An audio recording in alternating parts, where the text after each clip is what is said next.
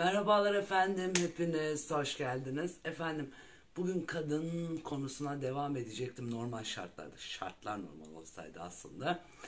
E, yalnız gündem epey yoğun olduğu için e, gündeme dair konuşmayı daha doğru buldum. Kadını konuşmaya devam edeceğiz efendim. Gündemde birden fazla önemli konu var. Bunların başında benim daha çok e, üzerinde durmak istediğim iki önemli konu var.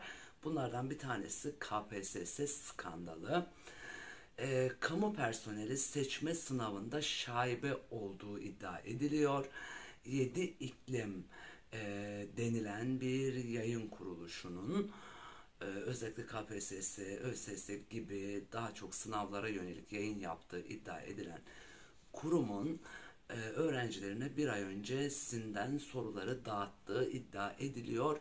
20 sorunun birebir aynı benzer falan değil birebir aynı olduğu tespit ediliyor.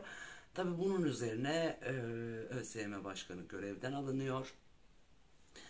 Şimdi burada önemli bir nokta var. Daha önce e, FETÖ ile birlikte bu soru çalma mevzusu gündeme gelmişti. Yani e, ÖSYM'in orada güvenilirliği ciddi manada sarsılmıştı. Burada da e, aslında tuz biber olduğu e, denilebilir. Sorular birebir aynı. E, noktası virgülüne kadar aynı sorular. E, dolayısıyla bu ister istemez öğrencilerin, sınava giren gençlerin midesini bulandırdı. Sadece gençlerin değil, ailelerin, hepimizin midesini bulandıran bir durum ortaya çıkardı. Şimdi efendim özellikle e, toplumu incelediğimizde toplum üzerine sürekli konuşuyoruz ve benzer şeyleri aslında sürekli söylüyorum. Biz toplum olarak çok vahim bir noktaya geldik. Bakın vahim bir noktaya geldik. Devletin kurumlarına güven sarsıldı. İnsanların birbirine olan güveni sarsıldı annenin, eşin, eşlerin birbirlerine olan güveni sarsıldı. Dolayısıyla e, bir çöküşe doğru gidiyoruz aslında. Gidiyoruz da demek çok doğru değil, çöküş içerisindeyiz aslında. Yani toplum öyle bir noktaya geldi ki e, eğitimine güvenenler Avrupa e, standartlarına uygun olanlar Avrupa e, yapısına uygun olanlar Avrupa'nın kabul ettiği insanlar Avrupa'ya gitmeyi tercih ediyorlar. Doktorlar, mühendisler gitmeye başladı. E, çok ciddi bir kesim gitti. E, Avrupa'nın e, standartlarına, kriterlerine, e, eğitim kriterlerine, işte diploma kriterlerine, eşleniğinin olmaması gibi e, o standartlara uymayanların büyük bir çoğunluğu Türkiye'de kalmış durumda. Bir de bizler gibi umudu olan, her şeye rağmen umudu olan e, ve her şeye rağmen bir şeylerin değişeceğini düşünen insanlar geride kaldık. Giden gitti. Şimdi bu e, çöküş bugün başlamadı. Yani e, biz bugün aslında sonucu yaşıyoruz. Ve bu son 20 yılında meselesi değil. Bu son 100 yılın meselesi aslında. Yani e, geçmişten bugüne bakıldığında e, öngörüsü yüksek olmayan, öngörüsü olmayan bir eğitim sistemiyle biz bugüne geldik aslında. Ve e, bu artık ayyuka çıkmaya başladı. Yani hep vardı aslında insanın içerisinde bu duygu durumu. Hep vardı, geçmişte de vardı, bugün de vardı, gelecekte de var olacak. Yalnız bugün bu duygu durumu meşrulaştırıldı. Yani insanlar artık nasıl kısa vadede ne kadar para kazanırım, ne kadar çok para kazanırım onun hesabını yapar hale geldi. Eee banyoda yaşanan bir arıza sebebiyle usta çağırmak durumunda kaldık. Su tesisatçısı, su e, işleriyle uğraşan biri. Bir haftada bulabildik. Yani bir haftada geldi. Ee, herkes artık yani o bu veya ayıralım noktasını da geçtik. Herkes artık kısa vadede çok para kazanmanın hesabını yapıyor. Çalışmadan, üretmeden, e, emek harcamadan, çaba göstermeden kısa vadede para kazanmanın hesabına düşmüş artık insanlar. Ve kısa vadeli karını düşünüyor artık. Düşündüğümüz toplum olarak iki şey var. Bir, karnımızı nasıl doyurabiliriz? İki, cinselliğimizi nasıl doyurabiliriz? Yani başka bir e, amacımız, başka bir e, ideolojimiz, bir e, düsturumuz yok gördüğüm kadarıyla yani gözlemlediğim kadarıyla düşündüğümüz hep kısa vade, orta ve uzun vadeyi hiç düşünmüyoruz. Geleceği yani gelecekten beklentimiz ve geleceği düşündüğümüz tek şey ev almak, araba almak veya işte çocuğumuza çok para yığmak gibi e, planımız uzun vadeli, orta vadeli bu aslında uzun vadeli de değil. Orta vadeli planımız bunlardan ibaret. Dolayısıyla ne oluyor efendim? Toplum şahsiyetsizleşiyor. Yani e, artık o şahsiyeti olmayan toplumlar e, nezdinde ilerlemeye başlıyoruz. Bu artık ayyuka çıkmaya başladı. Yani KPSS örneği sadece bir örnek. Yani aynı e, gün Twitter'da şunu da gö- gördüm. Bir ünlü pop sanatçısı e, şampanya patlatıyor. İşte kendisine ikram mı edildi, ne yapıldı tam orayı e, kestiremiyorum. Bunu e, garsonlardan bir, bir tanesinin kafasını boşaltırken e, kameralar görüntülüyor ve ciddi bir alkış kıyamet de kopuyor orada. Bu şovun bir parçası da olabilir.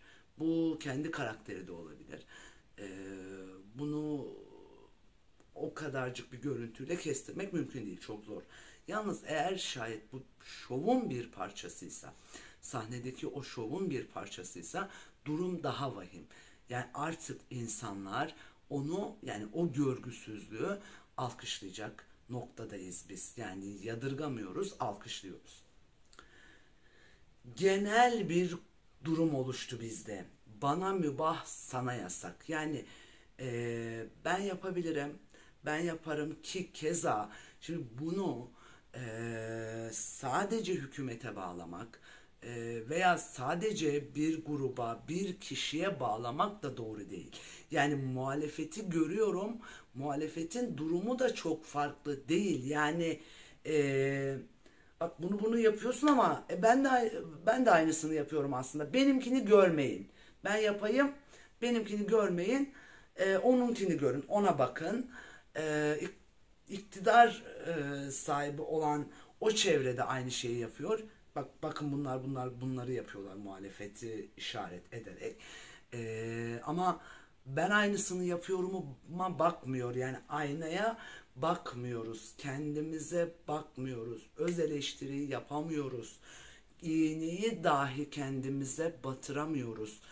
Çünkü bu siyasiler bunu daha önceki e, videolarımda da değindim. Para kazan hayatta kal e, işte para kazan e, hayatta kal çıkmazı toplumun bu videolarımızda bu iki e, videomuzda detaylı değindik bunlara. Çünkü e, ortada şöyle bir durum söz konusu. Ya o yapıyor ben de yapmalıyım. Yani e, o çok e, yedi ben az yedim mantığıyla hareket ediliyor. E, topluma e, bakıyoruz toplumda da durum aşağı yukarı aynı. Yani bu toplumdan çıktı bu siyasetçiler. Bunlar uzaydan gelmedi. O videolarımızda detaylı bahsettik. Bu adamlar uzaydan gelmedi. Bunlar bizim içimizden çıktılar.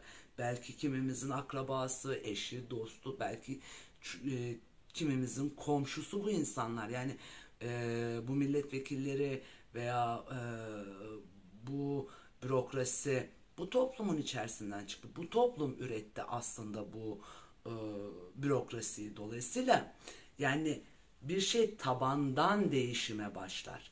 Tavandan değil. Yani evi yapmaya çatıdan başlamıyoruz. Temel atarak başlıyoruz evi yapmaya.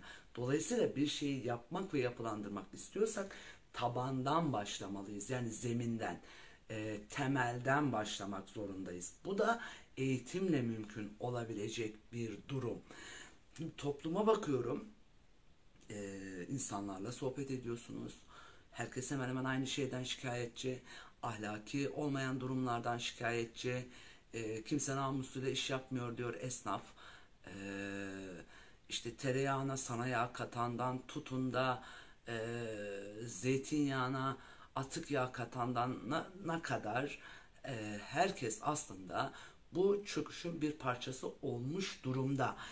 Dolayısıyla birimizin diğerini eleştirecek ağzı da kalmadı e, bu görünen fotoğrafta. Yani birini eleştiriyoruz ama eleştirirken kendimizi görmüyoruz. Şunu e, görüyorum yani bazen bunu görüyorum. Basit bir örnek bu.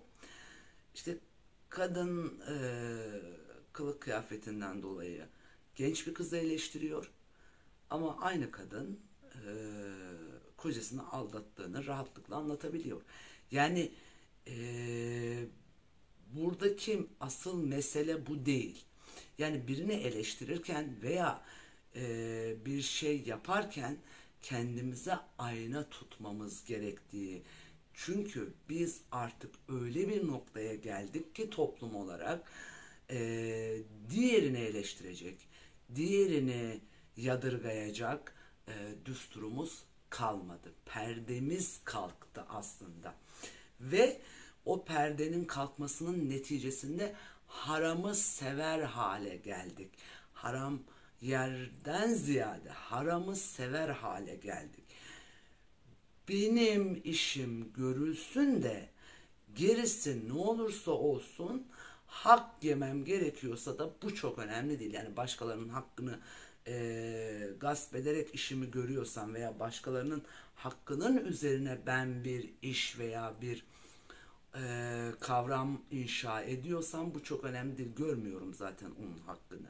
Onun hakkı değil zaten. Benim hakkım. Ben e, haklıyım algısı ön planda toplumda. İşte bu toplumu tehlikeli boyutlara getiren e, nokta burası. Yani bu e, bir savaş hali olması durumunda da tehlikeli. Bir e, değişim, dönüşüm olması durumunda da tehlikeli. Bu insanların kendilerini ifade edemediklerinde, anlaşamadıklarını, anlaşılamadıklarını düşündüklerinde ki intiharla da bazen sonuçlanan vakalar var. Yani e, kadın artık, şimdi kadına da azıcık değinelim bu noktada yeri geldiği için, kadın artık e, kocasını aldatmanın doğal olduğunu düşünüyor. E, kocası zaten, kocasının gözü zaten e, onun bunun el alemin karısında kızında. E, bu iş böyledir ama yani e, sen ne yaparsan senin karına kızına da aynısı yapılır. Bu doğal dengedir aslında. Kainat boşluk kabul etmez. Yani e, ne ekersen onu biçersin. Atalarımızın çok güzel bir sözüdür bu. Dolayısıyla e, bu düsturu kaybettik biz. Yani bunlar örnekler, verdiklerim örnekler. Bunları çoğaltabiliriz. E, çoğaltabiliriz çünkü gerçekten hani o çöküşü o kadar e, net şekilde görüyoruz ki adam kendisi televizyon ekranlarına çıktı açıkladı zaten dedi ben çorap satıyorum 10 tane çorap satıyorum 8'ini çalıyorum ikisinin vergisini ödüyorum dedi. Yani devleti veya bir başkasını çalan aslında bir iki kişi değil. Birçok kişi bunu yapıyor hale geldi. Yani ben yapıyorum benim yaptığımı görmeyin sen yapma. Yani ben yapıyorum benim yaptığımı görmeyin benim yaptığımı yapma sen çünkü sen benim yaptığımı yaparsan ben kimi dolandıracağım? E, mantığı bu aslında. e, hepiniz yaparsanız do, dolayısıyla da e, do, ortada dolandıracak adam kalmıyor. Herkes birbirini dolandırmaya, herkes birbiri üzerinden e, bir menfaat, bir çıkar elde etmeye çalıştıkça e, o e, zincir, o halka büyüyor ister istemez. Bana mübah, sana yasak. Ben yaparım, sen yapma. Yani muhalefet iktidara bunu söylüyor, iktidar muhalefete aynı şekilde bunu söylüyor. Suçlamalar bu minval üzerinden ilerliyor. Bu toplumun da aslında durumunu ortaya koyuyor. Dediğim gibi bunlar, bu siyasetçiler bizim içimizden çıktı. Bizim eğitim sistemimizin ürünü bu e, toplum. Bu da bugün başlamadı. 1960'lı, 50'li hatta 40'lı yıllarda dahi temelleri atıldı ve insanlarda bir açlık, kıtlık kültürü hakim. Bu kültür bitmiyor. Yani e, bu öyle kolay da bitecek bir şey değil. Ne kadar insanda varsa o kadar açgözlü olmaya başladı. İnsanoğlu e, bu tehlikeli boyutlara varacak olan nokta aslında. Bunun sebebi de biz e, maalesef ki kıtlık ve yokluk kültüründen gelen bir toplumuz. Bu her açıdan böyle. E, gerek insan ihtiyaçlarımızın karşılanması, cinselliği de buna dahil edebiliriz. Bu yokluk ve açlık kültürü aslında bizi doyumsuz ve açgözlü yapmaya başladı. İkinci önemli nokta da insanlar artık e, hazır tüketime kanalize edilmiş durumda. Üretmeyin, tüketin. Ama birileri üretmeden tüketimin olamayacağını bize vermediler, vermiyorlar. Bu kasıtlı yapılan bir şeydir. Üretmeden tüketim olmaz efendim. Bunu unutmayın. Bedava ekmek fare kapanında olur. Çalışmadan, üretmeden, e, emek harcamadan bir şeye sahip olmanız, bir şeylere sahip olmanız mümkün değil. Kısa vadeli sahip oluyormuş gibi görünseniz de orta ve uzun vadede bu insanlar kaybederler. Her zaman bu böyledir. Geçmişte de böyledir. Gelecekte de böyle olacaktır. Çünkü yaratılışın, varoluşun bir doğal dengesi var. Ve iddialıyım da bu konuda. Özellikle altını çiziyorum bu temenni falan değil. Ee, öngörüm bu şekilde. Üretmeyen, emek harcamayan, çaba göstermeyen, işini doğru yapmayan, işini düzgün yapmayan herkesin kaybedeceği bir dünya düzenine doğru gidiyoruz. Herkesin dilinde, siyasilerin dilinde de yeni dünya düzeni. Dolayısıyla efendim bu yeni dünya düzeni nedir dediğinizde, bunun topluma yansıması ne olacak dediğinizde öngörün bu efendim. Üreten, e, işini iyi yapan, düzgün yapan, kaliteli, ahlaki e, nesepleri ön planda tutan insanların kazanacağı bir dünyaya doğru gidiyoruz. E, bu her yerde böyle. Sokakları süpüren çöpçü için de aynı şey geçerli. E, elektrikleri tamir eden tesisatçı için aynı şey geçerli. Doktor için aynı şey geçerli. Öğretmen için aynı şey geçerli. Siyasi için aynı şey geçerli. Yani şu bu falan ayrımı değil e, bütün meslek grupları, bütün insanlık için aslında çiftçi için de aynı şey geçerli. Herkes için aynı şey geçerli. İşini düzgün yapan, üreten, çalışan, emek harcayanların kazanacağı bir dünya düzenine doğru gidiyoruz efendim. Bu da e, benim gibi insanları sevindiren, benim gibi e, bizim gibi olan birçok insanı sevindiren de bir durum aslında bu e, bu düsturda artık insanların yetişmesi ve bakış açılarının buraya yöneltilmesi gerekiyor efendim. İkinci önemli konumuzda efendim e, cemevlerine yapılan saldırı. Birden fazla cemevine saldırı yapıldı. Bunun planlı bir saldırı olduğu aşikar. E, ben öncelikle geçmiş olsun dileklerimi iletiyorum tüm Alevi e, cem evlerine, bütün Alevi kardeşlerime geçmiş olsun dileklerimi iletiyorum. Alevi komşularım da oldu, çok e, insan da tanıdım. Önce insanın önemli olduğu e, bir dünyaya da gidiyoruz aynı zamanda. Şimdi buradaki önemli bir nokta bu işin provokasyon amaçlı kaşınıyor olması. Muhalif kanallarda tartışılıyor. Ee, iktidar yanlısı medyada çok tartışıldığına şahit olmadım. Muhalif kanallarda tartışılıyor. Yalnız muhalif kanallarda da e, tartışma çok başka şekilde ilerliyor. Özü görmekten yine aciziz. İddia şu, daha doğrusu saldırıyı düzenleyenler e, biz bu saldırıyı Illuminati e, sebebiyle yani onların teşviğiyle onlara ithafen yaptık ifadesiydi. Bu bir itiraftı aslında. Muhalefet kanallarında araştırmacı yazar gazeteci olduğunu iddia edenler bunun bir akıl tutulması olduğunu, akli dengesinin yerinde olmadığını iddia ederek bu kısmı kapattılar. Aslında en önemli kısım buydu. Illuminati nedir? Ee, bu adamlar kim? Türkiye'de yapılandılar mı ee, acaba? Bu yapılanmanın e, sebebi ve sonuçları neler olabilir toplumda diye e, asıl soruları sormadılar bu gazeteciler asıl sorulması gereken soru buydu. Evet ortada bir provokasyon var. Yalnız bu adamlar kim, Illuminati kim diye kimse çıkıp da sormadı. Peki nedir Illuminati? Biraz biz bunu açalım efendim.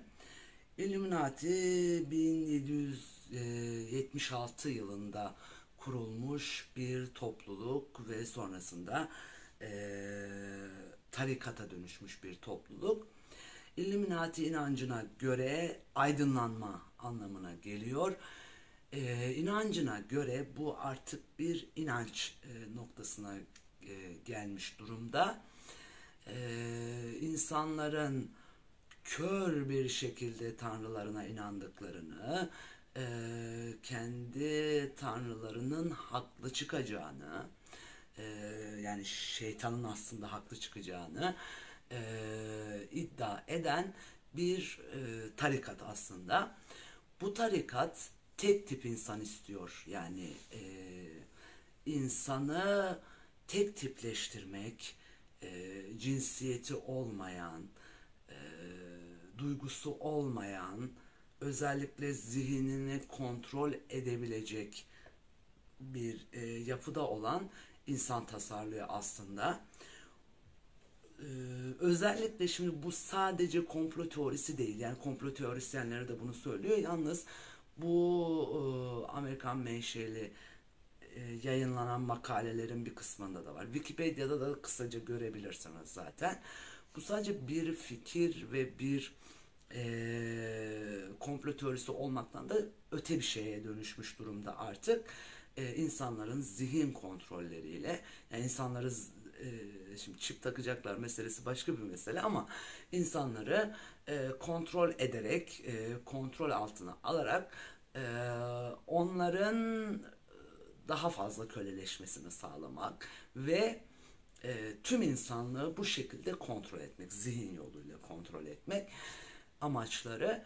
Şimdi bu çipten öte bir şey zaten algı operasyonlarıyla yapılan bir şeydi bu, bu durum söz konusu burada. Yani insanlar zaten algı operasyonlarıyla yönlendiriliyorlar, kontrol altına alınmış durumdalar. Peki Illuminati'nin Türkiye'deki yapılanması kim? Nedir bunlar? Bunlar burada ne iş yapıyorlar? kısmının sorulması gerekiyor. İşte muhalefetin sormadığı sorular bunlar. Ee, yani adam zaten itiraf ediyor. Bunu diyor Illuminati e, grubunun adına yaptık diyor zaten itiraf ediyor. Burada bir şey var. Yani e, bunu bakalım demiyor hiçbir araştırmacı yazar gazeteci orayı kapatmış durumdalar. Değil efendim bakılması gerekiyor. E, sadece Illuminati meselesi değil bu mesele. Türkiye bir operasyon sahasına dönüşmüş durumda. Yani Türkiye'de birçok grubun, birçok e, yapının planı var aslında. Operasyon sahasına dönüşmüş durumda burası. E, Türkiye'de daha önce bahsettik bu konulardan. e, 100 TL verildi ve insanların rüyaları dinlendi. Bu rüyalar neden dinlendi? Para karşılığında mesela. Bu soruları soranı çok görmüyorum. Türkiye'de daha önce konsolos olarak görev yapan insanlar, bu insanlardan bir tanesi MI6'ın başına getirildi. Yani e, Türkiye bir deney tahtasına, bir deneme tahtasına dönüştürülmüş durumda ki biz de işte kendi içimizde kendimizi soymaya çalıştığımız için birbirimize e, kazık atma hesabında olduğumuz için bu gerçeklikleri göremiyoruz maalesef. Bu da bizim toplumumuzun suçu değil. Bu toplumu eğitemeyen, eğitmeyen sistemin sonucudur aslında. Bunu da ayrıyeten konuşacağız. Eğitim sistemine Türk e, tipi bir eğitim sistemi maalesef şu anda bizde yok. Tabandan tabana, aşağıdan yukarı, ilk öğretimden hatta anaokulundan üniversite eğitimine kadar yetersiz bir eğitim var. Bu eğitimin bizi getirdiği son noktada burası. Çocuklarımız sadece KPSS'ye hazırlanmanın hesabında. Bu da ayrı bir açmaz. Ee, öğrencilerin zaten güveni de sarsıldı. Ee, yapabilen yapabilen yapıyor. Ee, bu da artık ayyuka çıkmış durumda ve efendim konuşmaya devam edeceğiz. Bizimle kalın. Hoş kalın, hoşça kalın, esen kalın efendim.